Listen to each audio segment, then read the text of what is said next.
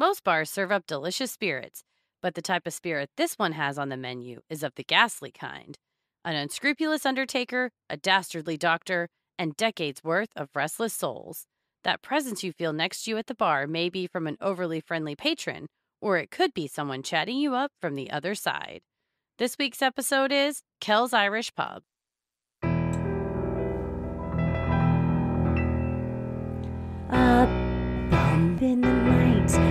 Heart fills with dread. Probably a murderer who wants you dead. It could be a ghost, a demon, or worse. Perhaps you're the victim of a witch's curse. It's hopeless, you're doomed. You'd call a priest if you could. You'd rather just listen to who?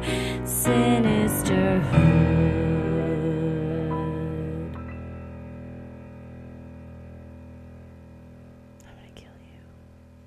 Well, the haunted bar so nice, we covered it twice.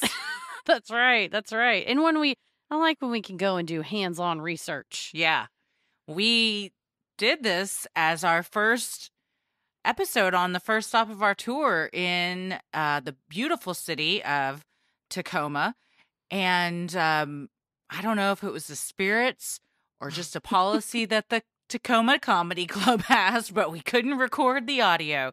So we decided we still wanted you guys to hear all the fun stuff that we did and the interesting lore behind this bar. So we had all the information. We're doing it again. Yeah, I think you're right. I think it was truly the spirits that Mhm. we were ready and, uh, or we just didn't, uh, clarify all that up top. Nevertheless, we did a great show, what I think was a great show. And from the feedback we got, we had a lot of fun uh, with everybody there live in the audience in Tacoma. And then afterwards, we were just riding high and then looked at each other and we're like, that wasn't recorded, was it? So, But it was still uh, a very funny show. And we got to go to the location of this and had a very wonderful tour with the owner and his wife and their lovely little daughter. they were so welcoming, so, nice. kind. Oh my yeah, goodness. it was great. It took us. Um, we'll go through all the air, the different areas, but I mean, Mhm. truly a backstage kind of behind We the scenes did. tour. It was so generous with their time. They spent a ton of time with us, just giving us the the old what for about this place. And it is, first of all, had a lovely lunch there. great drinks, some great Irish fare.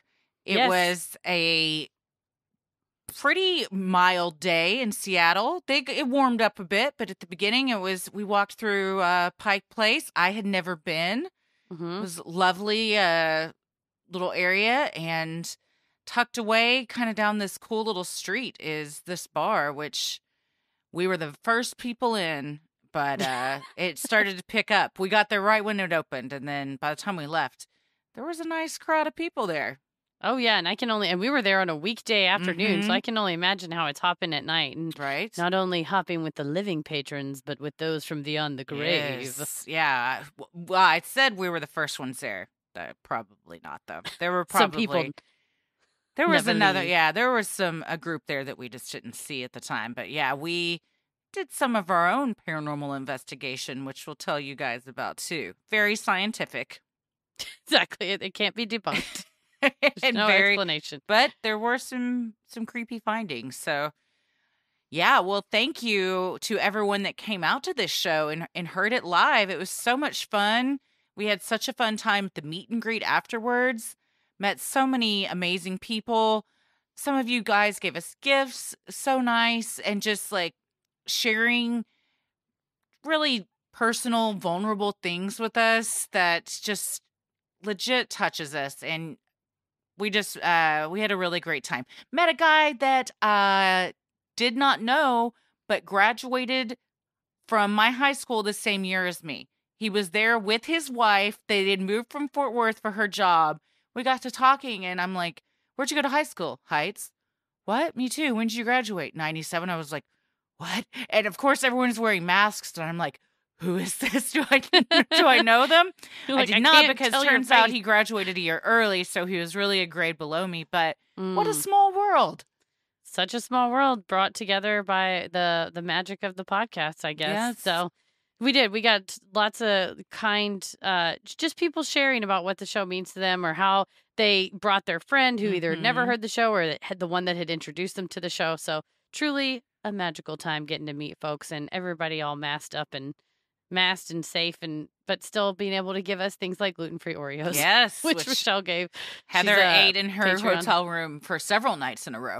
Almost every time Christy popped in my room, I was on the bed with my iPad watching old episodes of Real Housewives going to town on some gluten-free Mhm. Oreos. So they came in very clutch uh, for my late night snacks. So yeah, thanks to everybody. And thanks to the clubs that hosted us. Tacoma Yeah. host the Tacoma Comedy Club in Washington and the Helium Comedy Club in Portland. Such uh, excellent hosts. They were so friendly and welcoming and made sure our extensive exclusive rider were met, which was literally, can we have like a Diet Coke? Like, do you mind?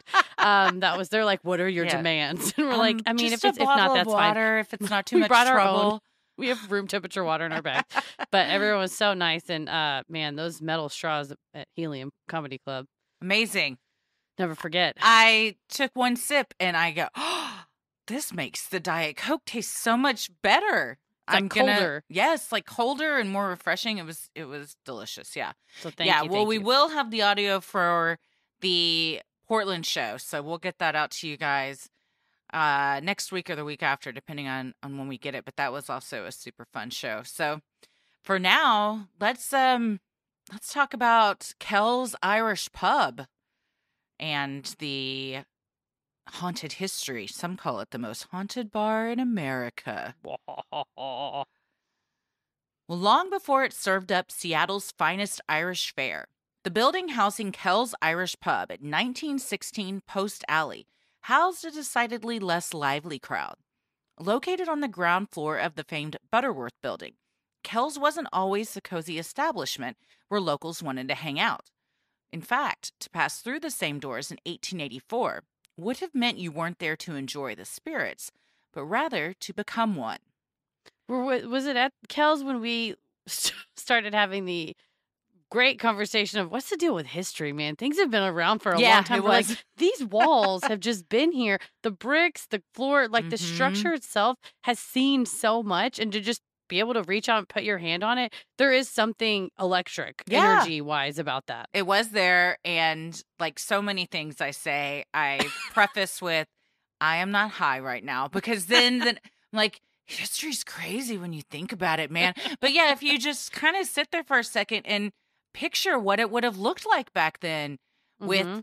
you know probably a dirt floor and just the type of clothes that they wore and Mhm. horse-drawn carriages coming in with coffins in the back and all sorts of you know i mean just to like imagine that is it's is which uh which stephen king tommy knockers where the little things eat up the past you just imagine Mm. like that's what it was and these little things like came and ate it up and now we are where or if you travel back in time will you see it i don't know i don't know how time works i don't know how history works Or is it all happening all at the same time, just on different planes of existence? you know who who it's it's once you've had uh two bloody marys at noon on an empty stomach you start to wonder these things and i still don't have an answer Deep thoughts. mm-hmm. edgar ray butterworth was a cunning businessman born in 1847 massachusetts butterworth had been his family's primary breadwinner since the young age of 16 he was a man of many trades working as a hatter craftsman, rancher, and even dipping his toe into the legal field for a bit. By 26, he had been married twice and was living in Fort Scott, Kansas. It was here that Butterworth's future would begin to take shape. Kind of get the feeling he was looking for something. He was changing jobs, changing wives, moving cities. Yeah. What was he looking for? His true calling, his Yeah. true place in the world. As he traveled across the Kansas plains with his horse and wagon, Butterworth came upon a man grieving the recent loss of his wife and newborn baby. The man desperately wanted to give his family the proper burial they deserved, but lacked the necessary supplies.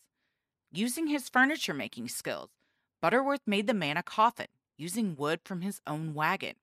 It wasn't long before Butterworth saw the business potential in this market and manufactured an entire line of coffins in Olympia, Washington. Taking his success a step further, he then went into the undertaking business. E.R. Butterworth and Sons opened its doors in 1888, according to the many advertisements it ran in area newspapers. It was the first full service mortuary in the city, and its presence was much needed. Prior to Butterworth and Sons going into business, dead bodies would often pile up on the streets of downtown Seattle. It got to be such a problem, in fact, that undertakers were offered $50 by the city for every body they took in. Quickly, Butterworth became a wealthy man.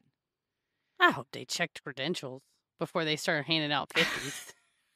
just anybody can go grab um, grab a body. I mean, but what a again, just I mean, in today's in most parts of the the world now, if bodies were just lying in the street, something would be done about that. But back then it was just uh where what are we going to do with them? I mean, somebody had to be the first to say, "Well, why don't we do this with them?"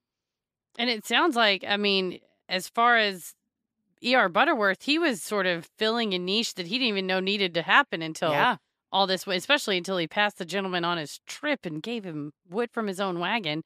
I mean, if you have those skills, you just go, well, it's sort of like making a chair, but just longer and closed up. Yeah, and one that you sit in forever. That's right. Mhm. It better be comfortable. Yeah. Sometimes um opportunity finds you.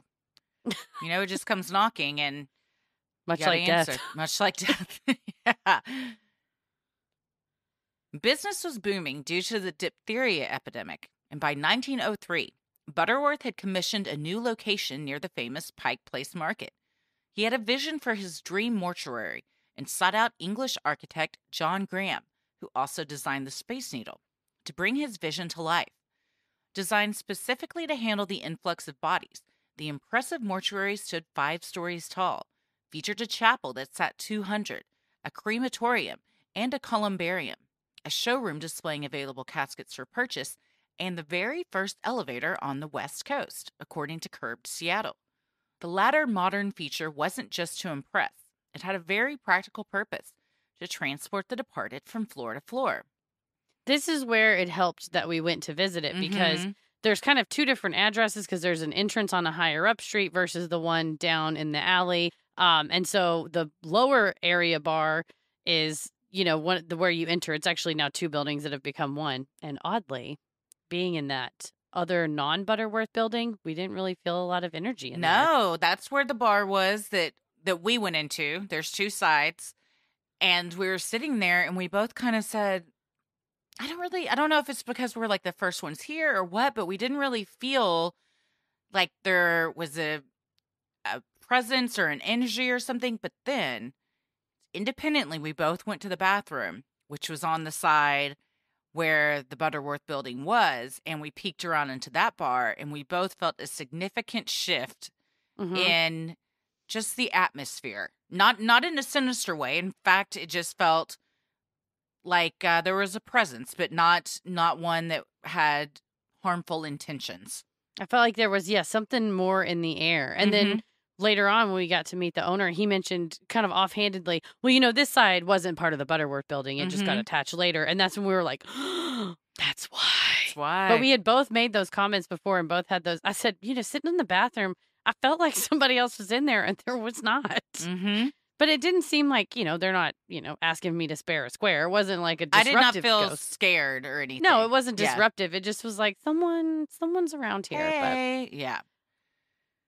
For two decades, Seattle residents of all means mourned their loved ones at Butterworth and Sons.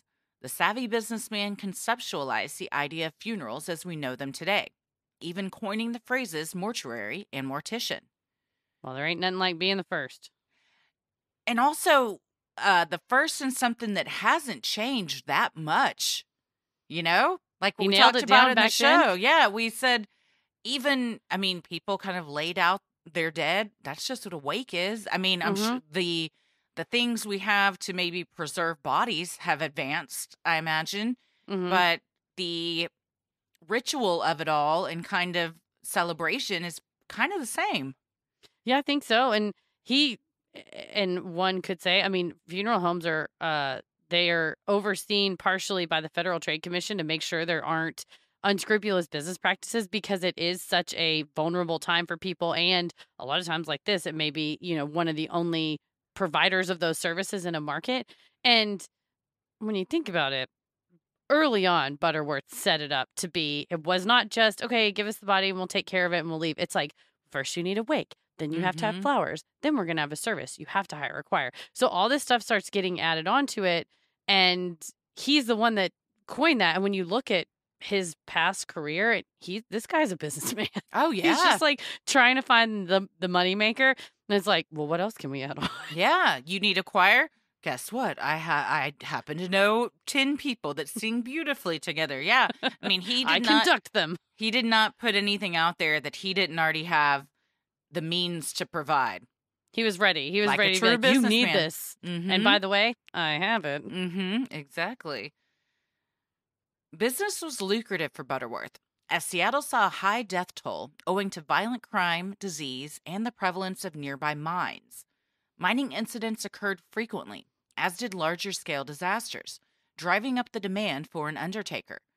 Possibly in an effort to double dip on the industry, in 1905, Butterworth invested in the Conrad Consolidated Mining Company, ensuring nearby mining operations would continue while making himself available to process the bodies of any workers who didn't make it back to the surface. That is a have your cake and eat it too, man. Whoa. I mean, if it wasn't so diabolical, bad respect to the business side of that. But Yeah. that's yikes. You're like, I'll keep you alive so you could die. Yes, please go down into the mining operations. No, we haven't been licensed by the state. like he's very uh very crafty, crafty with his uh investments. Yeah, when I was searching through the old newspapers, it was a ton of advertisements for ER Butterworth and Sons, mortuary, morticians, cremations, just ad after ad. And then this article said a new company has been formed. It's a mining company, and ten thousand shares are owned by ER Butterworth. And looked up the mining company. Eventually, got shut down, went bankrupt. Uh, so it was a short term play, but nonetheless connected to his Mm-hmm. uh, his primary business. Man, mining is is a Dangerous. whole thing. Yeah. That's mad respect to people that are like, I'm just gonna go underground and uh just try and get stuff for all you guys up there on the top. Yeah, anytime. I mean, someone just messaged us today and said they had started listening to the show with episode 13, which is where you should start, Yep. and said, I cannot imagine being that down down that low in such a confined space. And I'm sure, you know, mines to an extent get built out, but still there's that ride down that's going to be down a mine shaft Mm-hmm. that I cannot I don't know that I'd be able to stomach that. No, and if you haven't listened to episode 13, it's all about cave diving. And in that, you have water to contend with Yeah, as well. Even worse. You know? But yeah. You can run out of oxygen down Yeah, there too. oh, I guess sure. you get shut in, Yeah. closed in. But yeah, I don't, I don't know that his concern uh, was mm, safety and efficiency of the mine. I think it was in money. Mm-hmm. For sure. More grisly were the fates awaiting the miners from Alaska who returned to Seattle, flush with gold. Criminals hid in the shadows, ready to kill them for their riches and dump their bodies in Elliott Bay, according to the book Cemeteries of Seattle. Butterworth began to accumulate so much wealth that he nearly became a corpse himself. In 1909, police thwarted a plot to murder the Undertaker for his money and diamonds. One of the assailants was interviewed by the Seattle Star and laid out the plot. The men planned to ambush Butterworth in the street and take him out using a gun equipped with a silencer. The 16 year old accomplice told the paper, I'm glad I'm arrested. I'm glad I'm in jail. Another month and we'd have got Butterworth. He's worth two thousand as he stands on his feet, and he's worth that much to us dead. Lucky for him, Butterworth lived, and his macabre business continued to grow. I mean, this is pre Miranda warnings, 1909. Not only was this kid Yeah. just talking to the cops, but also very freely talking to the newspaper. There was another guy they were going to kill, laid that plot out. I mean, just admission after admission after mm. admission, and no adult, parent, or police, eh, not police, but uh, a court appointed lawyer to stop him. This is completely putting you on the spot, but I have a feeling you're still going to know. but what happened to make the Miranda rights come about? Okay, so it was the late 1960s. Okay. And I mean, pretty much before this, it was this was a radical change, right? So the Fifth Amendment before this, it was basically saying you could not be com- uh, compelled to confess to a crime. Like they couldn't say if you don't confess, then that's can you know we're going to hold you in contempt of court. Um, Or we're not going to let you leave this room until you tell us you did it. Yeah, for sure. I mean, exactly. So it's like, well, why can't I, you know, why can't I just leave? Well, we're going to hold you in jail until you talk. Well, that they can do that. That's criminal contempt, but not anymore because your 5th amendment to the Constitution restricts prosecutors from using any statements um, as evidence until you tell them that they're that the person in custody has a right to an attorney, has a right to remain silent, and has a right against self incrimination. And not only does the defendant understand those, but then voluntarily waives them. So that's kind of the the legal implication of it. But it was in the early 60s. Um, a guy named Miranda was arrested in Phoenix, Arizona. I knew it was Arizona. I remembered that. And yeah, it was just circumstantial evidence um, that linked him to the kidnapping and rape of an 18 year old woman um, that was, you know, a week or two before that. And they interrogated him a long time, probably a couple hours, and then had him write a confession. And it, you know, it said at the bottom of the confession, it said like I have a right to counsel. These statements can be used against me, but he said they they didn't tell them that, and they he basically allegedly he confessed orally but that they didn't tell the, him orally and get his confirmation of understanding that he had a right to remain silent and that he didn't have to talk to the police and so the supreme court basically said a full voluntary confession is only valid whenever somebody has been informed of their rights and ha- has said, Yes, I understand these rights, and yes, I am voluntarily waiving them. And if not, then the statement is inadmissible. Mm. So that was pretty much the crux of it was that his case was overturned because they had admitted his statements that he had made with not all the basically what you now know is, you know, on law and order or whatever, you have Mhm. the right to remain silent. Since that wasn't all in there, the Supreme Court overturned his conviction and remanded it back down to Arizona um, as a retrial. So they was kind of convicted eventually. um, I Did can't quite do it? remember.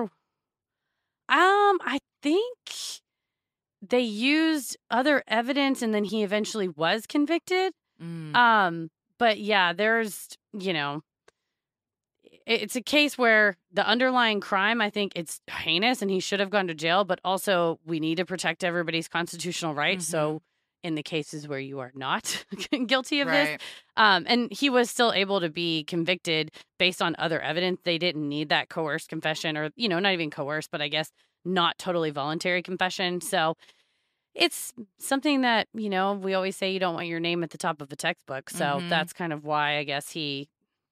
I mean, he made an impact, unfortunately, on the victim who he attacked, but then also on you know future suspects, both those who are guilty and those who are are not. So Mm-hmm. it's a big deal. I saw new Law and Orders coming out with Elliot Stabler, so I'm sure we'll hear it. It's called Law and Order. Um, it's a, A new is a new spin-off? iteration. Yeah, so Iteration. still- yeah. uh, yeah, there's gonna be SVU, but then there's now Law and Order. Oh, it's like uh, organized crime. Oh, So I think Elliot Stabler versus the mob. nice, nice. Well, thank you for that explanation. I mean, it's all rusty, but hopefully vague remembrance slash Wikipedia reading. Sinisterhood will be right back. Growing up, cereal was one of my favorite parts about being a kid, but I have all kinds of stomach issues that are tied to gluten, so my uh, cereal pickings are slim. But Magic Spoon came into my life. It has zero grams of sugar, 13 to 14 grams of protein, and only four net grams of carbs in each serving. It's also only 140 calories a serving. It's keto friendly, gluten free, grain free, soy free, and low carb. Plus, there's a variety pack that includes four flavors cocoa, fruity, frosted, and peanut butter. I had the peanut butter today, and I gotta say, very pleasantly surprised. It was a great peanut butter flavor. It kept its crunchiness to the very last drop of milk. It didn't get soggy or anything it was it was quite delicious. And then you told me, little pro tip, you get that peanut butter, you mix in some of the cocoa. Tastes Yes, like it- tastes like a certain type of chocolate peanut butter candy that we all like. It tastes just like regular cereal and the cereal version of the candy that we like Mhm. from your childhood, but it's super nutritious. It's delicious, but super healthy cereal that brings joy to your mornings or afternoons, or for me, evening. I mixed chocolate and peanut butter for dinner tonight. I had a little oat milk on it. And it was just a fun treat, but also it was filling because of all the protein. Mhm. And uh, I'm not going to be all jacked up on sugar, so I can sleep at a reasonable hour as well. Go to magicspoon.com slash sinisterhood to grab a variety pack and try it today. And be sure to use our promo code sinisterhood at checkout to save $5 off your order. And Magic Spoon is so confident in their product, it's backed with a 100% happiness guarantee. So if you don't like it for any reason, they'll refund your money, no questions asked. But why would you ever send back that chocolatey peanut buttery Mm. goodness? Remember, get your next delicious bowl of guilt-free cereal at magicspoon.com slash sinisterhood and use code sinisterhood to save $5 off.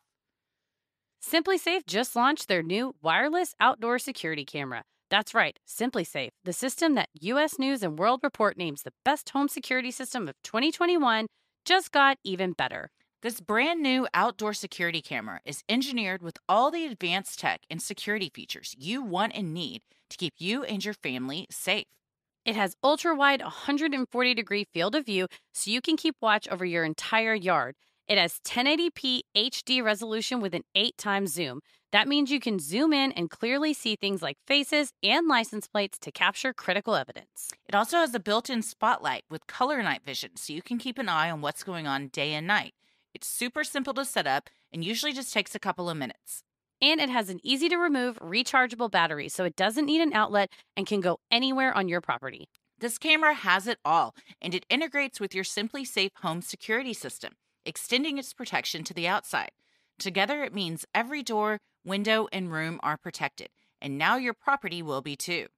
To learn more about the exciting new SimpliSafe wireless outdoor security camera, visit simplisafe.com/creepy. What's more, SimpliSafe is celebrating this new camera by offering 20% off your entire new system and your first month of monitoring service for free when you enroll in interactive monitoring. Again, that's simplisafe.com/creepy. With HelloFresh, you get fresh, pre-measured ingredients and mouth-watering seasonal recipes delivered right to your door. Skip trips to the grocery store and count on HelloFresh to make home cooking easy, fun, and affordable. That's why it's America's number one meal kit. HelloFresh offers 50 menu and market items to choose from every week, from vegetarian meals and calorie smart choices to extra special gourmet options. There's something for everyone to enjoy, with recipes designed and tested by professional chefs and nutritional experts to ensure deliciousness and simplicity. Fall is busy, especially with us. We're going on tour, traveling in and out of town, but HelloFresh recipes save time we would otherwise spend meal planning, shopping, chopping, so we can all get back to what matters. We can also easily customize orders on the app within minutes. You can change your delivery day, food preferences, and plan size, or skip a week whenever you need to. Go to HelloFresh.com slash creepy14 and use code creepy14 for up to 14 free meals, including free shipping. Again, get up to 14 free meals, including free shipping at HelloFresh.com slash creepy14 and use code creepy14, America's number one meal kit. Unbeknownst to Butterworth's customers, their undertaker didn't conduct his death care business with the honor and respect they expected. In 1903, Butterworth and two local doctors were sued by a widow for their role in mutilating her husband's corpse. After her husband's untimely death, the doctors requested the woman's permission to perform an autopsy. She refused, but the doctors ignored her wishes. According to her suit, Unknown to her, the two doctors went into Butterworth's morgue and cut up the body in a frightful manner. she sued for $2,500 in damages, about $77,000 in today's money. I'm not trying to besmirch Butterworth, but I feel like if you just gave him some bucks and told him just look the other way, he'd be like, I didn't see nothing. Mm-hmm. That is definitely what it, what it sounds like. I got a morgue and you can use it.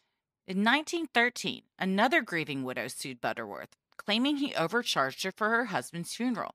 She told the court Butterworth put her husband in a coffin so large it wouldn't fit through the door and had to be hauled out through a window, despite her husband's small frame, according to the Tacoma Daily Ledger. You think she charged him a window fee? or he charged her a window fee? What? That's like when my uh, parents bought me a swing set when I was little, and my dad and my grandpa put it together in the garage. And then they realized this doesn't fit out the garage, and they had to take apart, take the whole thing Oh. apart, and then go Oh, redo it's it. like a ship in a bottle. Yes, out in the backyard. Like you got to make sure wherever you, the the intended destination for this thing is, you can get it there without having to like do something wild, going out windows and stuff. somehow at a my first apartment when I moved back to Dallas from Chicago, I got a couch into it, but when it came time to move it, there was zero percent chance of getting it. We could not get it out, and we had Because My just brother. the angles to turn it and stuff.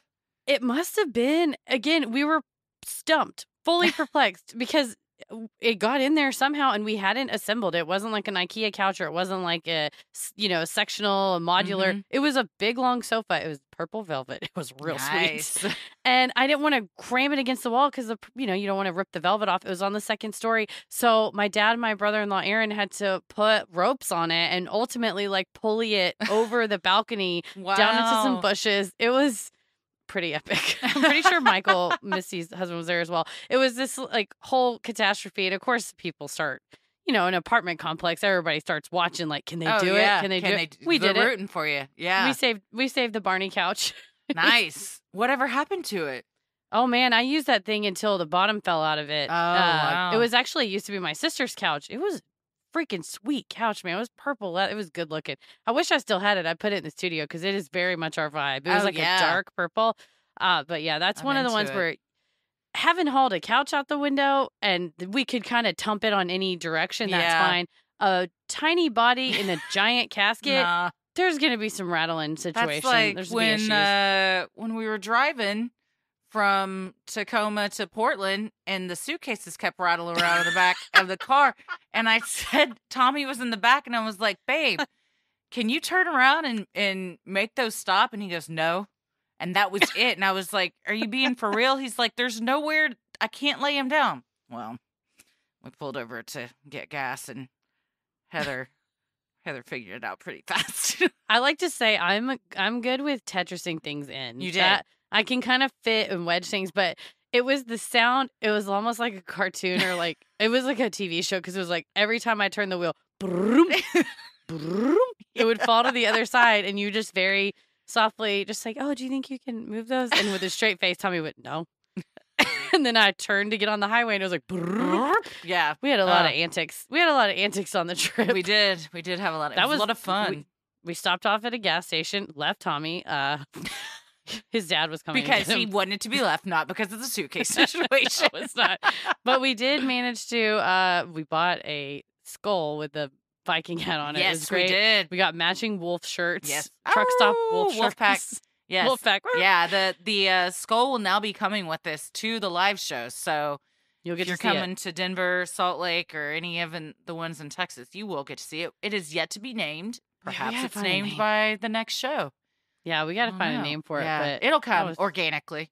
it will. We're Can't not gonna. force I don't want to force it. You see that skull? You look at it. You can't force anything on that No. skull. Nah. uh because there's a sticker on the bottom that says it has carcinogens in it so awesome great yeah. After i don't we, know what it's made out after of After we spent like- a lot of time in a hotel room and the car with it.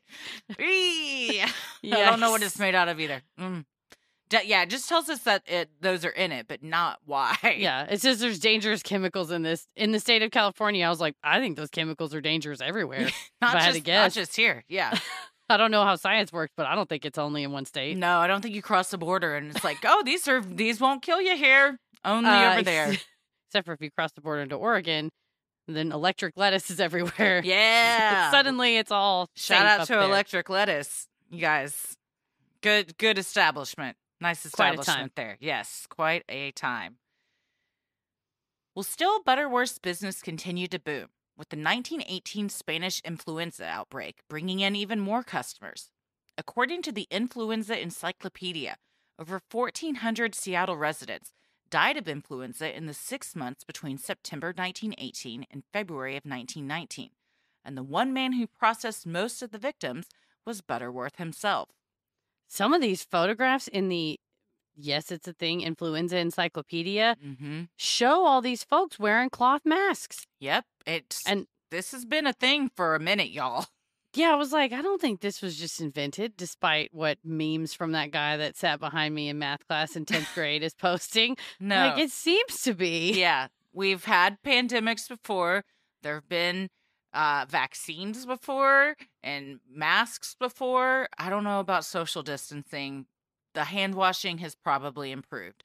But I would say yes. but uh, so back then, people just stuck their fingers in folks for surgeries. There was just Mm. nothing. Yeah, There was no- you just there was poured some some vodka straight up on your hands. A little bit in the mouth, a little bit on the wound.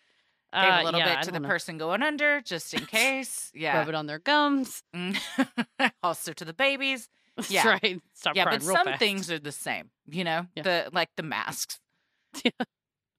Well, all those bodies were too tempting for Butterworth, and the business soon found itself facing federal criminal charges. The government alleged the Undertaker had been scamming the loved ones of the fallen Navy service members and double dipping on their funeral bills. After collecting his $100 from the government for each body, Butterworth would then charge the mourning families for the same services. It was also said Butterworth was willing to process any body that came through the door for the right price, even when the causes of death were suspicious.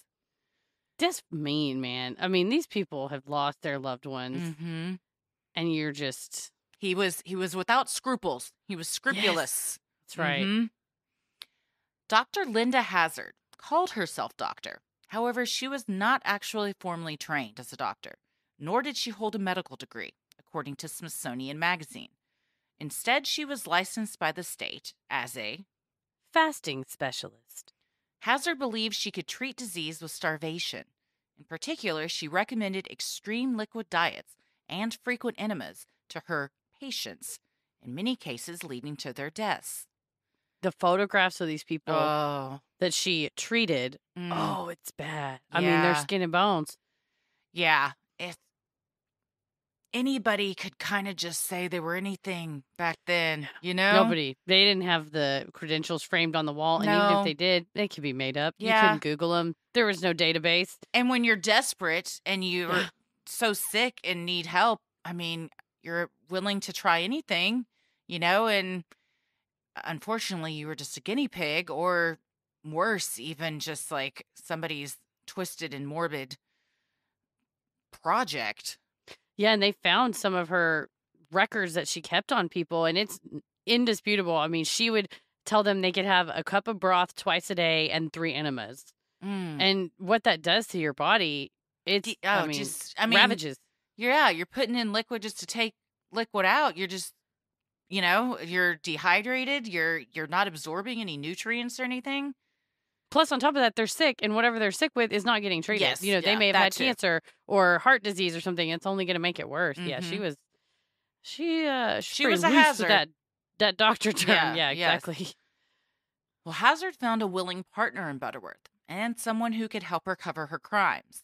In an effort to help Hazzard avoid prosecution, Butterworth would quickly cremate her victims, destroying any potential evidence of wrongdoing.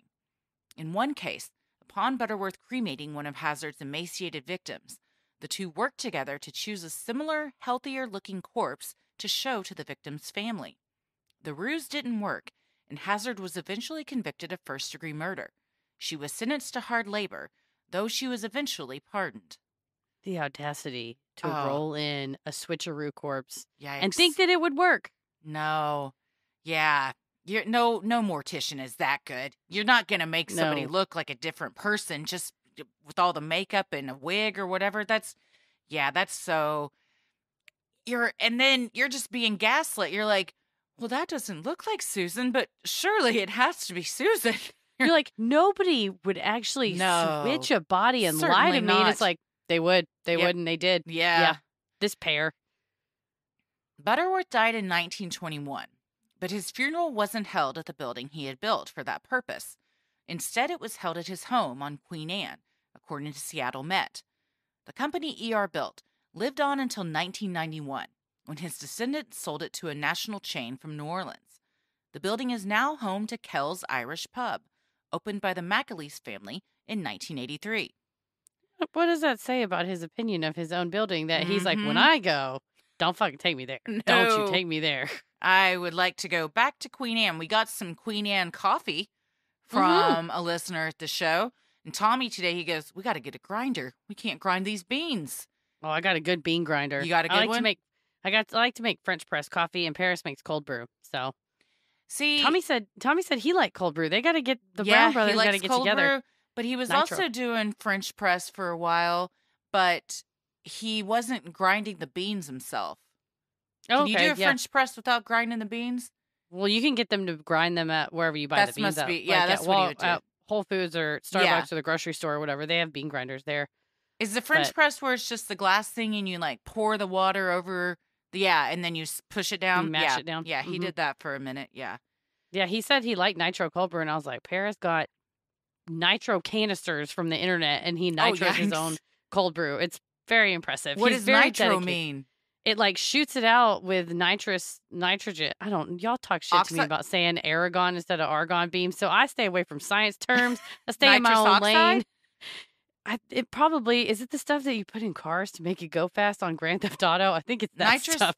I don't know if nit- what uh, nitrous oxide is, but I'm assuming this is the stuff you put in whipped cream. Yes, yes, yes. It's that. Yeah, okay. Maybe, it- I don't know if that's nitrous oxide or not.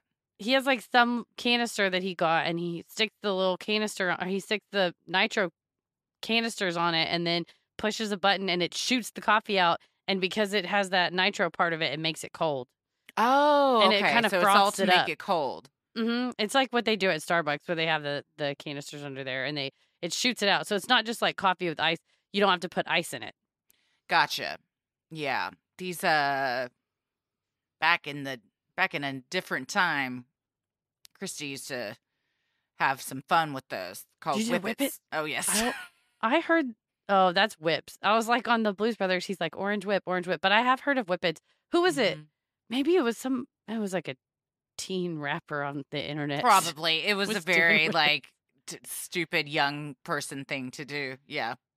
Well, we know whippets at the McKinney No, it's not having. It's all for coffee. Yeah. It's only coffee. That's how you Mhm. know you've you've reached your mid thirties. Where you're like, don't waste those on a whippet. I have to make my cold brew. I can't wake up without my cold brew in the morning. well, called the Most haunted bar in America. by ghostly activities. Kells is located in what was once a funeral wagon garage, meaning every deceased body that entered the mortuary passed through the same door patrons now walk through for their favorite pint. According to the Corvallis Gazette Times, a shaman once counted 19 fully formed ghosts in the building, which also sits on the site of a burial ground, sacred to the Suquamish sacred to the Suquamish people. Mercedes Yaeger, a local ghost tour guide, told the Gazette, There are some pissed off ghosts in there.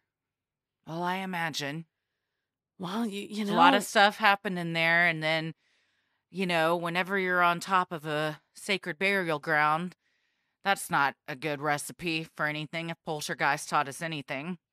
Uh, That is true too. And yeah, when you realize that it wasn't just, well, this is a one off room that was sometimes used, it was every can maybe possibly died suddenly confused spirit passed through a room that might be where they feel more attached to. Mm-hmm. The current owners are considerate of their ghastly co-tenants, though they report increased incidents of paranormal activity during times of construction. They continue to develop and improve the space. The McAleese family began renovating the chapel in 2005 and maintained respect for the space's past. Owner Patrick told the Corvallis Gazette, I'd never ignore the past of this place.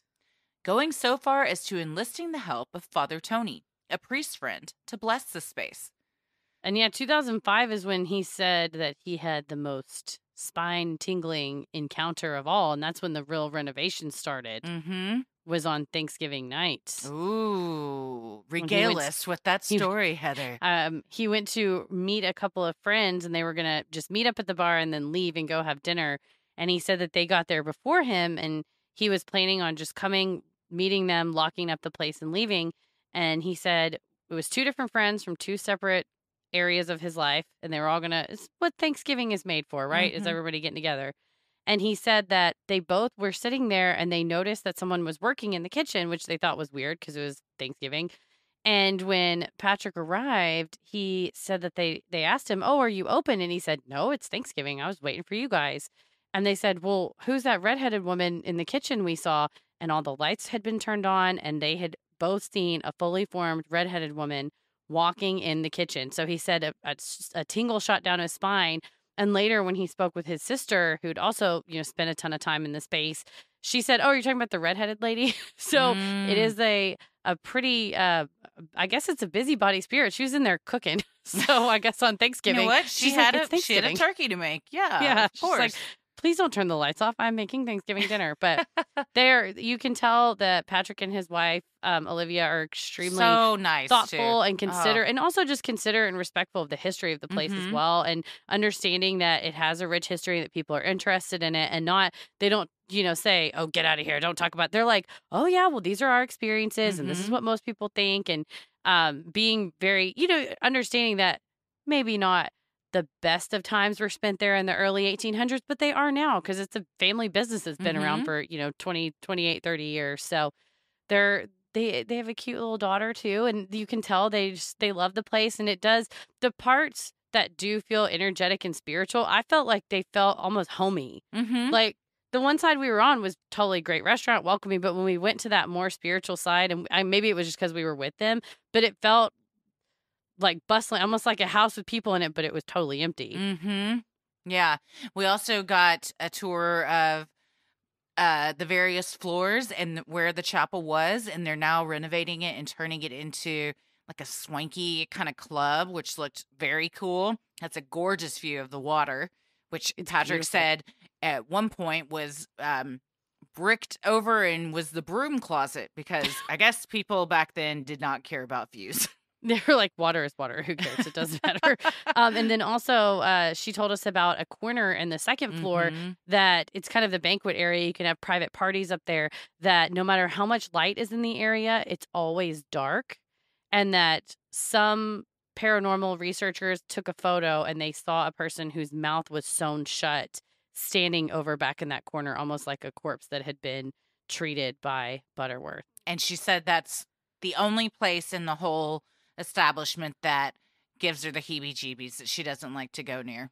Which it was. I mean, when we walked past it, it there It was you know, there's yeah, it was a dark corner Mhm. despite having, you know, a full wall of lights on one side. But Mhm. I do I like how they've renovated and they've kept a lot of features that that ornate look you know between the two because they bought you know the the building next to it they have Mhm. a space over there as well so there's like a big barn door that they kept from one of the, you know from, from the original building and in the chapel the wood carving so you can still even though it is an upscale nightclub or well on its way to becoming an upscale nightclub the wood carving you can still see of like oh this did used to be a more Mhm. you know kind of a religious space so it's very it's I, I like the keeping a toe in the past while going into the future as Yep. well Yeah, and they said their daughter, who I believe she was 18 months, so sweet.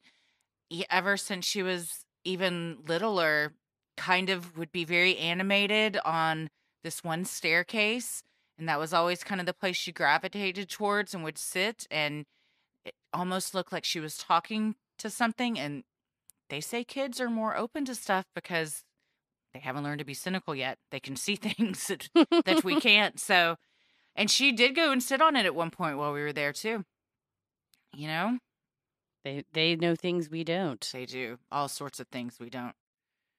sinister hood will be right back by now pretty much everyone has heard of cbd and if there was ever a time to get started with cbd it is now What both scientists and those who use CBD regularly know is that it helps with daily stresses, but you have to use a quality product to get quality results.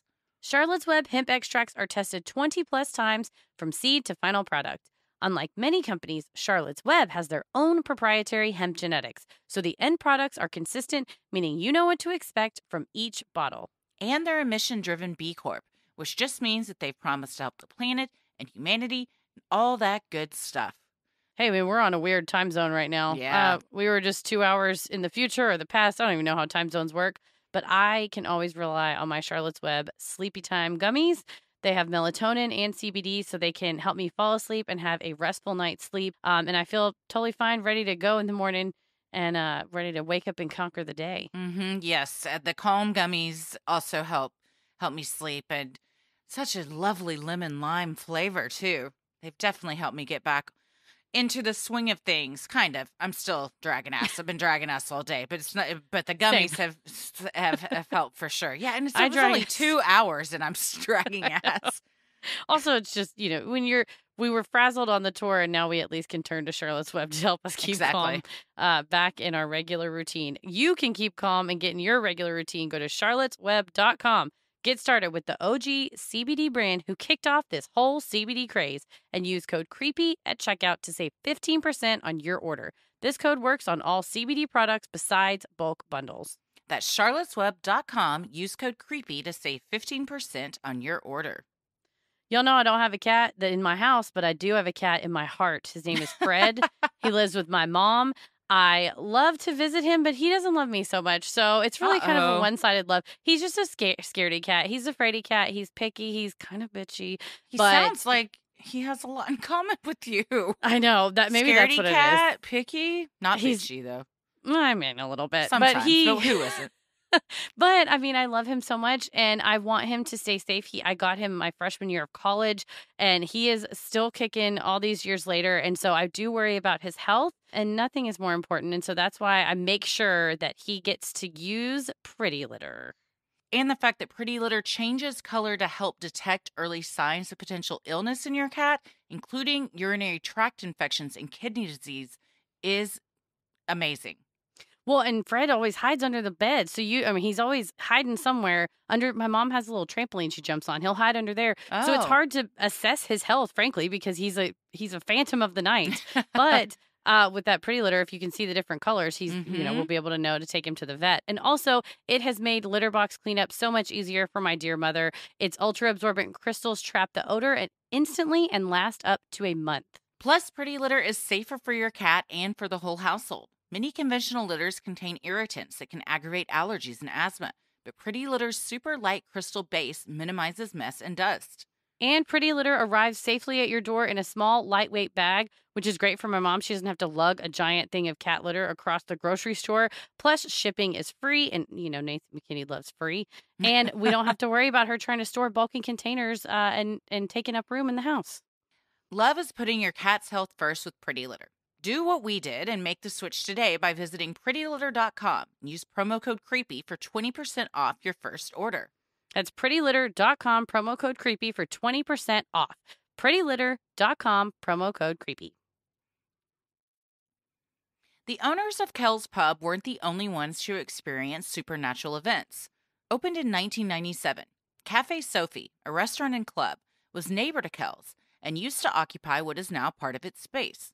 Owners Scott and Sue Craig designated one booth The haunted booth. after several customers reported similar eerie feelings in the same spot.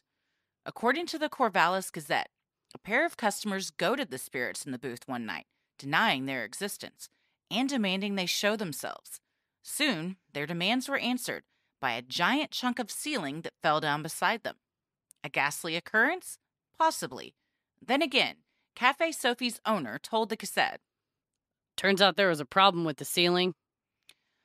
Well, you know, it could it's one of the two. It's either a problem with the ceiling or an angry ghost. But Or you know, don't piss off the ghost. I know, don't goad the ghost. I would say, Mm-mm. you know, if it was a problem with the ceiling, that was just an in route for the ghost to use that and kind of flick it instead of having to use a bunch mm-hmm. of energy to push a booth over or like flip the table over to show them. They could just, you know, it was already, uh, you know, hanging on by a thread. They could just snip that thread and show Mhm. that their power is real. Also, don't don't admit to the ceiling falling down on people. That's dangerous. Could you to the insurance adjuster say, and I'm being for real, could you say this history has a I mean, we kind of covered this on the Judge Judge Christie once. Mm-hmm. Like this has a history of being a haunted establishment. Here's the proof. We think that a ghost did this. What I mean, I think that would be up to the insurance company policies as to what they would accept as proof. I think that's what Judge Christie decided as well. That I think so. that yeah, you can't you'd have to have a clause in there that somehow worded it to where you could imply that a ghost was responsible for the damage. I wonder too if, as a business owner, you would not. I mean, because it isn't something that can be proven, it's not going to really raise rates. But if for some reason the insurance company goes, "Oh, okay, well it's haunted," and the the ghosts push things off the walls and you know break glass, we think that that's extra dangerous. So we're going to ins- raise your insurance rates. Dang. Well, if they can raise it for ghosts, then they have to accept the They have to claim, pay the it out. claims. Yeah, you can't. right, have You can't have it one way or the other. You gotta Pay out that claim. Yes. But structural problems couldn't explain all the goings on. Subsequent owners reported wine bottles flying off the racks toward an employee's head, glasses of alcohol flying off the bar, and mirrors and artwork falling to the ground and shattering. On one occasion, when the McAleese family ran toward the sound of shattered glass, they found a mirror broken, its pieces neatly stacked in a pile. Beside the pile, a single candle was lit and burning on the bar, according to the Gazette. Patrick McAleese told the paper You think someone must be pulling your leg, but then you don't see anyone. Karen McAleese, Patrick's sister, told the Seattle Times she has also witnessed unexplainable phenomenon. One of her most memorable encounters occurred on All Saints Day in 2005 in the pub's kitchen. Karen told the Times that out of nowhere, a figure appeared. He was a tall man who looked like he was part black with a suit jacket on. He had very thin hands. He walked to the end of the bar and just kind of faded. See, there it goes in 2005 again. That's when the chapel, real Mhm. construction on the chapel started. And that was when Thanksgiving incident occurred too with Patrick. So they were stirring, stirring stuff up on, Uh, not on purpose, but on accident, just as, as a byproduct of the construction. Much like me, ghosts don't like change. And when things start to change, they, you know, it's it's the environment that they were used to. True. that Maybe they're, not even to. they're not even mad. They're literally just lost because the, Yeah. the walls are different. We're like knocking or stuff the, over. do- They're like, the I'm door sorry. has changed. They're like, I don't know how to get out now. Yeah. They're like, I did not mean to knock that mirror off, but I was walking through and I accidentally knocked it down because that wall wasn't normally there. I was very confused. There are a number of frequently seen ghastly patrons around the pub. These include a young redheaded girl, described as shy, who carries around a ragged teddy bear. Those that have encountered her say she has a mischievous personality and loves coming out to meet younger visitors. She has even been known to make rag dolls for the children that visit the pub during the day with their families. Well, I we think. downloaded three ghost hunting apps while we, We were there. One of them, and we'll we will link them all in the show notes because off the top of my head I cannot remember the names, but a lot of people asked us after the live show what they were, so we will make sure to let everyone We'll link know. him. So Well, the can- first one was I ovul- ovilus was this the one that said words. words. So this one, I was in the side that Christy and I started in, and of course, my I didn't have good service because it's a basement of a brick building from the 1900s. So I walked towards the front of the building, get service, and download this app. It was listed on Bustle's top 11 apps you should use to ghost hunt. So that's where my sources were. and so I went to download it, and when I finally did, it was showing up red, which means no messages. And then I walked over to the other side of the bar, which would have been in the Butterworth building in that carriage area. And on the handheld paranormal device, the iOvilus, the word coffin popped up, Mm. which supposedly means that the spirits around me were trying to communicate. And that's the word that they said. very um specific word. Of course, Yes. I am my uh doubting ass immediately was like it knows our location. It's just geotargeting where we are. I was like, it actually does not have very good service. So I don't, maybe it did, but, or, you know, you never know. Maybe it was just a coincidence. But I saw that it said coffin and I freaked out and started screaming and ran through the bar back towards Christy and was breathing heavily. And I was, I was like, I what's happening? What's happening? what was the one that it would tell you what type? It would say spirit detected or Mm-hmm. presence detected, and then it would tell you um the type, like a man, child, kind of their uh demeanor, their Mhm. color of their Yep. aura, also their horoscope sign, which very helpful. I was like, I don't know. but That's accurate. Yeah, there it's was- Ghostcom Radar. Ghostcom radar, I liked Ghostcom this one a lot, and it Yep, said it said spirit type, child. child, and it said that, and words will kind of appear, and it said the child was scared.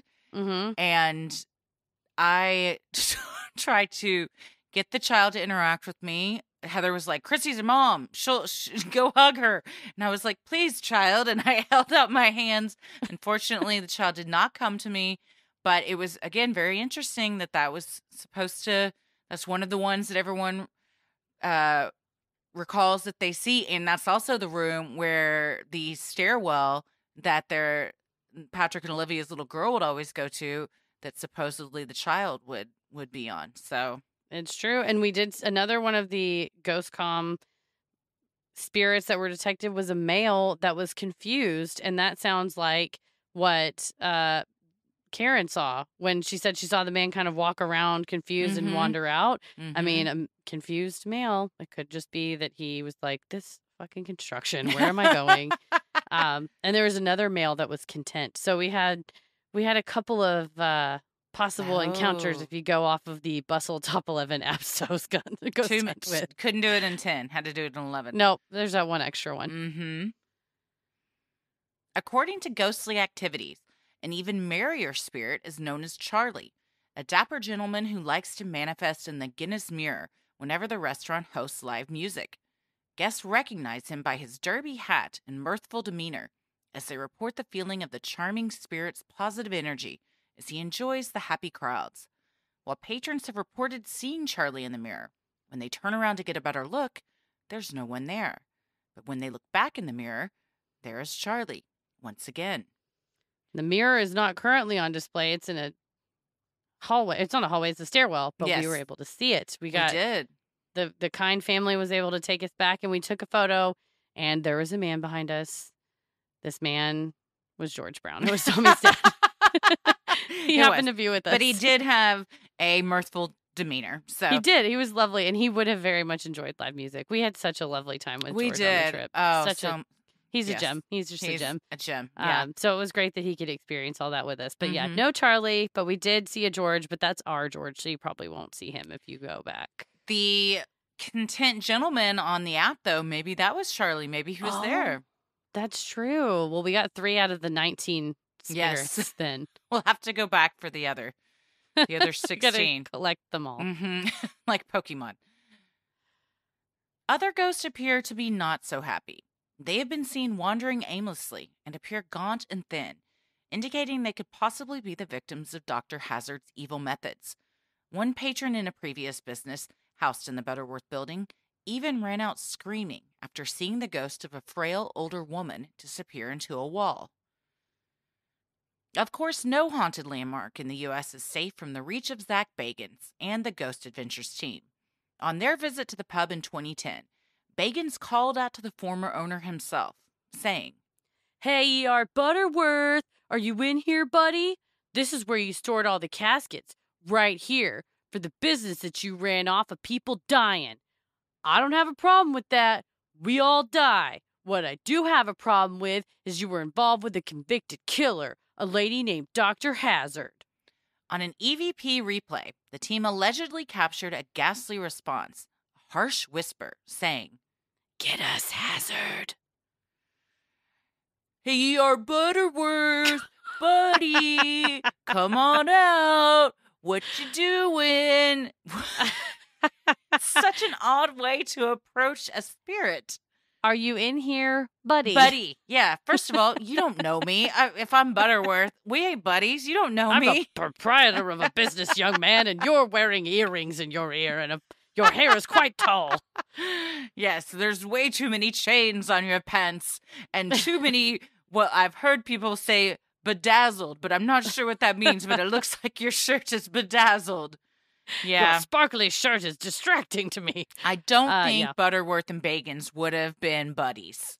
No, I think that was uh that was a little too familiar to say, Mhm, "Hey, buddy." mhm. And I do like that he said, "You ran your business off of dead people." I mean, that's cool though. We all got to make a living, says the person who hunts ghosts.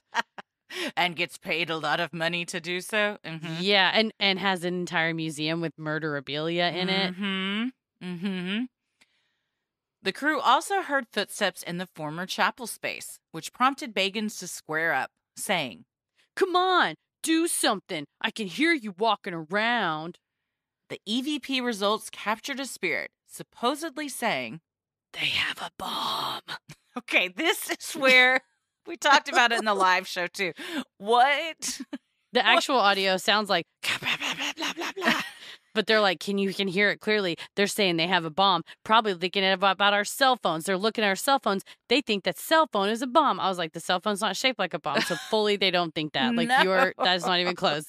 Um, yeah. Didn't make any sense. I said they probably were talking about a Jaeger bomb, which Yes. makes way more sense than In a they, bar. they mistook a cell phone for an actual bomb. Or maybe they said, Your shirt is the bomb.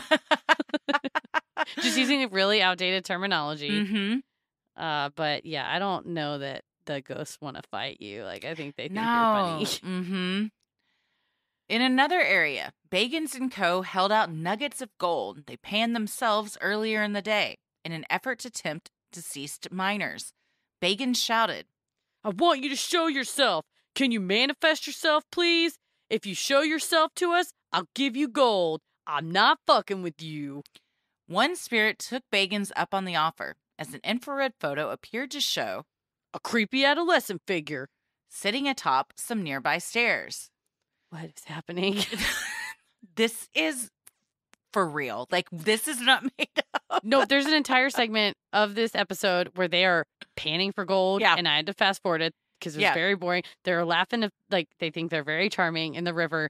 And they get these nuggets, uh, which I think they think are real nuggets of gold. Probably it's fool's gold. But then he offers to pay the ghost. Like, what the fuck is a ghost going to do with any type of currency? No, none. Yeah. And then why are you saying I'm not fucking with you? Show some respect. Why are you cursing at these ghosts? yeah. And also, why Can would you, you, manifest yourself, please? Just such a little assy baby.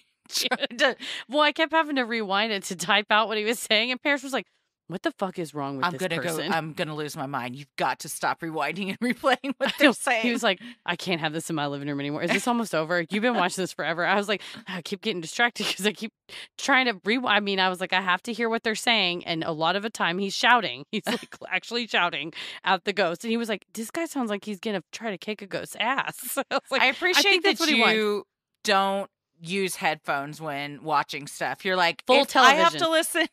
Yeah. I'd, I'd watch everything on my laptop with headphones. You are so thoughtful. I'm like, you want to spend time with me? Good. You can watch ghost shit or here, watch murder shit. The one thing I won't do is if we're doing a really serious case and there's like really graphic, like crime scene photos. But Paris is so, he, we are very close. We spend all of our time together, especially since the pandemic. And he'll be like, what are you working on? And we'll like sidle up on me. He learned real fast. Don't do that anymore. Cause he was like, oh my God. And also, even if it's not research for the show, Katie, one of our dear listeners, friend of the pod, was like, if you like Dr. Pimple Popper, one more gruesome is med school posts, and it is like Mm. surgery surgeries and horrific accidents, and then how they're repaired. It's like medical, you know, treatment on it or whatever. Every single time, it's the graphic Mm. content warning on Instagram, and I am very fascinated by all that. Man, if Paris leans over, he's like, "Oh my god!" Yeah. Uh yeah. I can't stomach that stuff. But Tommy doesn't that's not his thing uh either, luckily. But uh he if I need to know about any of that stuff, I'll just be like, Hey babe, have you heard of blah blah blah? And he's like, Yeah, that's like he's my litmus test for um do I want to know about this on the internet? Like, in, yeah, he's like, He's like, "Don't nope, look it up." Don't, don't, It's don't real- go, it's don't go gross. research that. No, It's real gross. well, spirits of the ghostly persuasion aren't the only kind you will find in Kells. The pub also has the city's largest collection of single malt scotch. Their website proudly states that Kells brings the traditions and culture of the Glens of Antrim to Seattle and offers a truly authentic Irish experience. And for those looking for a paranormal experience, Kells is a favorite stop along the many haunted tours of Seattle. Whether you're looking to imbibe in some spirits or possibly encounter one, Kells Irish Pub is sure to please. And if you go on one of the nights where live music is playing, make sure you take a good look in the Guinness mirror. There's a chance Charlie will be looking back at you, smiling as the Irish tunes and merry clink of glasses fill the air. That's my one regret is we didn't have more time in Seattle so we could go and see the live band. I know. We gotta go back. We do. Yeah, we, for sure. We did not get a, a lot of time there, like half a day. So I, de- I definitely want to go back. Well, so what do we think? Well, I mean, we had our paranormal encounters. We did. And Several. not only that is you know we got to talk to the McAleese family and they have also had their share of encounters but Mhm. I, I will agree with their take obviously they're experts and patrick said and i think it was in one of his interviews or it may have been when we were talking you know he's like i spent more time in this building than probably anybody in this yeah, last it was century when we were talking. Yeah. yes to like 1983 until now and so you know he said i never get a you know queasy feeling i never feel Mhm. nervous there is just kind of a buzz and i would agree with that when we were in the butterworth building side there is something around but i never felt even as the biggest scaredy cat i am i never felt okay i have to look behind my shoulder or oh i Mhm. feel sick of all the ghosts i've encountered in my life and yes i will say i've encountered multiple ghosts in my life or spirits energies there have been one or two that are more sinister feeling, but I felt like all of these, it was almost like they were residual spirits just kind of moving through the space. And sadly, maybe because they had either really sudden deaths or tragic death or were mistreated after they died, they are almost ti kind of either trapped there or just I think with the Charlie ghost and the content spirit, he's happy there. He, that party ain't going to end. He wants to just hang out. Why not And- hang out at a place where everybody's drinking, having a good time? There's live music. Yeah, and for and having a family like that that's in there, I bet the little girl wants to stick around because she's happy. And if the redheaded woman is Mhm. cooking, you know, it's one of those where it's kind of a welcoming place. So of course the ghosts don't want to leave because they're like, oh, this is a nice place. We want to stay. Yeah. So I, I definitely do think there is something in there. I felt it. The app's confirmed. yeah. but I know you you're you have a very great like intuition. You're really empathetic. So what I mean, you you can look at a photograph and read a person. so impressed. And so Christy, I sent a Christy a, a photo of um an ex of mine, and I, I sent a photo lineup and was like, "Can you pick out which person I dated?" And she totally called it. So there was there was some specifics that um, she made some specific assumptions, and she absolutely nailed all of them. I mean, even some were in the realm of possibility, but like spot on. So having the empathy and the intuition that you have, what do you think? I definitely felt like there was a buzz is a good word to put it or just like um I don't want to say a heaviness because it, that to me indicates like something negative but just like a feeling in the air in the bathroom area and then on the side where it was empty and we were just looking around but it's the bar side where the music takes place I definitely felt like a shift from there to when you walk over to where it wasn't the building, the Butterworth mm-hmm. building anymore. But yeah. the, the side that was open that doesn't have there's kind of a bar. There's two bars on the bottom floor on the basement floor. Mhm. and the side with the patio and without the music stand i felt like was the that's the other building and that's like the one that didn't really just had good vibes because it's a bar Mhm. but it didn't feel like haunted but then the bathroom and then the other side with the bandstand in the back corner Mhm. yeah and there's kind of a back hallway and that's where the staircase is and everything that's what all kind of felt like very bu- a buzz like a Yeah. buzz lively energetic feel And I didn't feel scared. It was Mm-mm. also the middle of the day and there were people True. there and there was a lot of light. If I was there by myself at night in the dark, I'm there it might be a different uh, story, but that's I think anywhere I would feel a little nervous. But yeah, I thought it it it had good vibes for sure and Olivia said that they're going to start putting out like more signage, like even out on the streets and stuff, so people kind of know a little bit more about the paranormal history and just the history in general of of the building. So I think it's going to be a very if you're into that if well, I mean even if you're into having a good time, if you're into ghosts, if you're into good food and music and drinks. So basically if you like anything in life, then you will like this place because it has something for everyone, but it's especially and they like make their own brews so i got Yeah. their cider that they make and it was Mhm. really good I Mhm. love a good cider. It was like a dry cider, and then we loved the chowder. So we had, Oh yes, very good it was chowder. overall just a good time. I had so much chowder on this trip, and I'm not mad about it. Like so literally. I think I had six chowders. Yes, if chowder was on the menu, it was like chowders all around. Yeah. we got to get around. Round Yes. of- we did Duke Seafood in Tacoma. They had little good. tiny chowders, so we all got chowder samplers, and then we got a bigger bowl of the chowder that Yeah. we liked the most. So in that one meal, we all had four chowders. we had four Yeah. chowders.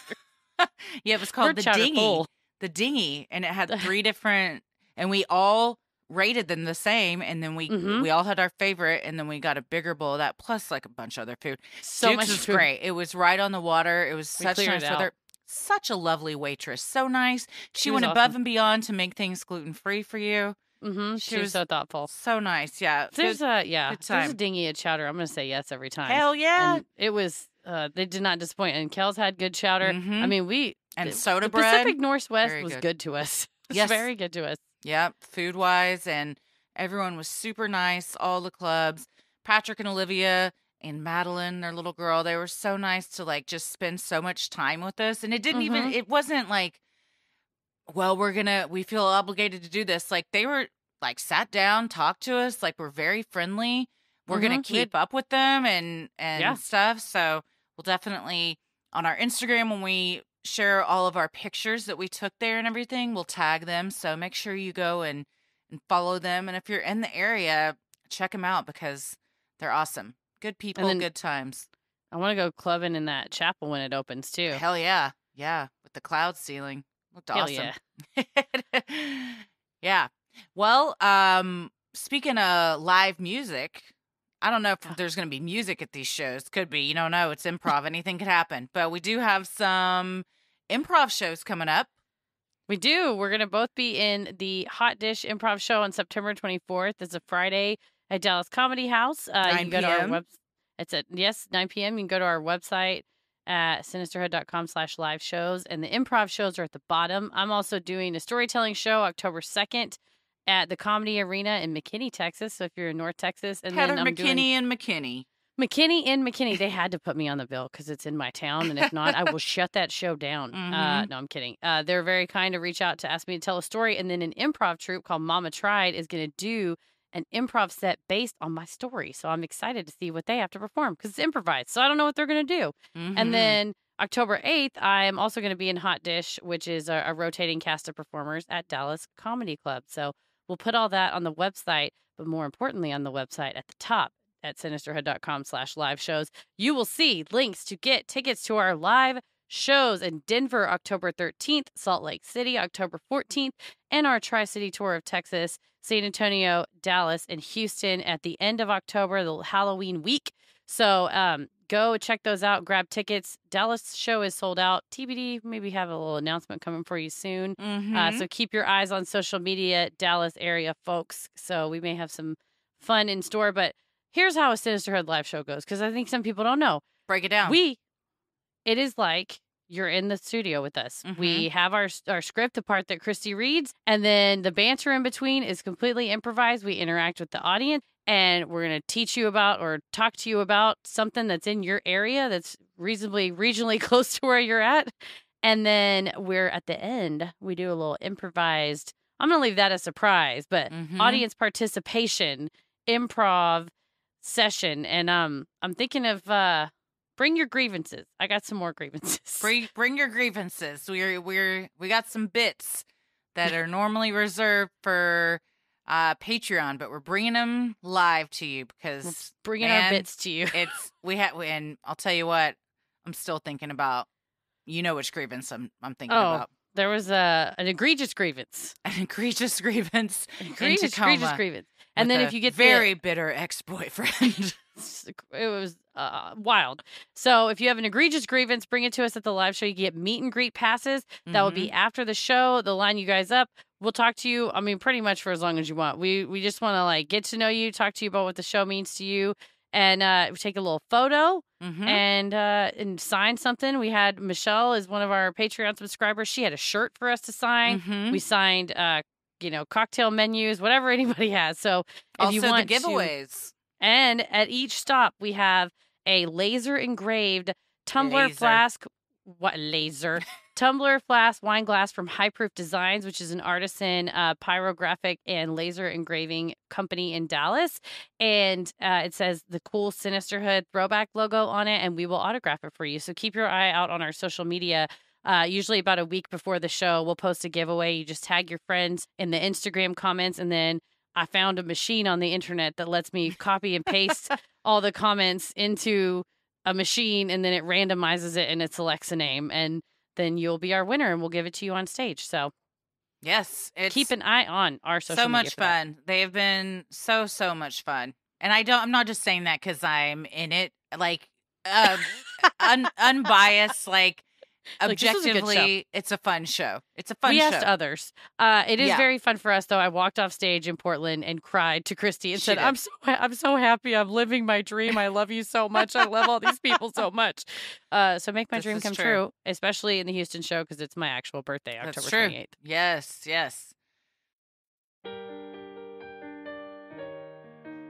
We love providing Sinisterhood to you at no cost. So if you like what you hear, consider supporting the show by donating to our Patreon. We're a small operation, creating the show for you by researching, writing, recording, and producing it ourselves. Any amount is sincerely appreciated and helps offset the cost of making and hosting the show. As a thank you, you'll also get some sweet perks like ad free episodes, a Sinisterhood sticker, membership to our exclusive Patreon Facebook group for those in the ruling the airwaves and getting into it tiers, a special shout out on the show, a monthly bonus minisode, and patron exclusive video and audio content, including our weekly audio segments like Am I the Asshole, Relationship Advice, Dear Christy. We also do uh did a little bit of video bonus content this week, Mhm. and you got a it's called Gone Rando Naughton, and it is a God Just damn, a it's vid- so good. It's a cinematic masterpiece. Heather put it together. It took her hours. It's so good. I was there and I I laughed so hard and then I was like, "Babe, have you seen this yet?" And he was like, "No." I was like, "You need to stop what you're doing and watch this." And then he was laughing out loud. It's very funny. I said this is proof positive that we need a television show. So it's like a 20 minute video. I'm just of- going to send it into the networks. Thank you just submit it to us. Um, so you get all of that and more when you subscribe. And we also have this new tier, the Getting Into It tier, where you get uh, video streams, uh, live performances. So if we're not coming to your town on this tour, then you can still uh, sign up for the Getting Into It tier. And each month you basically get a live stream show with us. And we're going to do Am I the Asshole, Judge Christy, relationship advice that you get to vote on. And you also get to vote on uh, topics for the main feed, which is what the Randonautica episode was. Mhm. Our Patreons in the Getting Into It tier, they picked it. So if you want to pick it, you got to sign up. the next live Patreon show is the 29th at 8 p.m. Central Time. So Sign up. Uh, the voting of what that's going to be is is currently underway. You also now have the fun perk of access to our Discord server, where you can connect with other fans in real time and discuss the latest in true crime, share personal ghost stories, or just post adorable pictures of your pets. We'll also be hopping on occasionally and hosting monthly Q&As where you can ask us all your burning questions. And our next Q&A is Sunday, the 26th at 1 p.m. Central Time. We're doing a little early to accommodate some of our UK listeners so you guys aren't up at 3 a.m. like you have been because you're so dedicated and loyal. We appreciate it so much. we love it when someone's like, woke up, I set my alarm and woke up in the middle of the night. Like, we love you. So it'll be, if you're in the US, it's like a fun Sunday brunch with us. Mhm. So bring a mimosa. We're not judging. Um, and for our patrons not in the US, you now have the option of paying pounds or euros, saving you the cost of the conversion fee. Annual memberships for all tiers are also now available. And when you select that option, you get rewarded with a free month of membership. For more details on all of this and specific member tiers, visit sinisterhood.com and click Patreon on the top banner. And make sure you stick around after our sign offs to hear your shout out. By now, you all know Chrissy built a beautiful merch website. We have amazing, incredible designs by independent artists that we commissioned to make cool stuff. And one of those artists is Day Off, Jude Sutton, who we just got to see in Oregon. And we got to see the m- amazing tour shirt in person. Because Jude's mom was Jude's wearing it. mom, Linda, who is also a listener and patron and so sweet, took us took us all to dinner. Shirt looked great. Looks Better than I even imagined. Yes. Linda's the perfect model for it, and you will be too. So go to sinisterhood.com and click shop in the top banner, and you can get uh, t shirts, clothes, mugs, totes for your kids, also clothes for your kids, but totes for yourself. You can get anything, and all of the proceeds and through the month of October will be going to the Center for Reproductive Rights, who is a policy and advocacy organization who um, helps keep our constitutional right to privacy uh, uh, keeps keeps that right. Like SB 8 right now in Texas is a rough time, but they are fighting on our behalf. And if you want to know more about SB8, because we've been getting a lot of legal questions since Heather is, of course, an attorney, we will be releasing um, a true crime headlines is is essentially what it is because there's been a lot of headlines and what's happening is is a crime against uh, the, the reproductive rights of of women and those that identify as women. Uh, we will be releasing that on our bonus uh, as our bonus content this week on Patreon. And Heather does a phenomenal job of explaining it and breaking it all down and what it all means. Well, thank you so much. So, yeah, go to sinisterhood.com, click on shop on the top banner uh, to get all that stuff and support the cause today. The best thing you can do to help us grow is like, review, and subscribe on Apple Podcast or wherever you listen to your podcast. And please tell a friend who you think would like us to check us out. It means so much to us and really helps podcasts like us get more exposure. You can follow us on Instagram and Twitter at Sinisterhood Pod and like us on Facebook at Sinisterhood. Christy, where are you at on the computer? I am on Twitter at Christy or GTFO and on Instagram at Christy M. Wallace. Heather? I've been tweeting a lot of bathroom jokes uh, on Oh, Twitter nice. at MCK versus the world and uh, posting some pics on Instagram at Heather versus the world. As always, the devil rules the airwaves. Keep it creepy.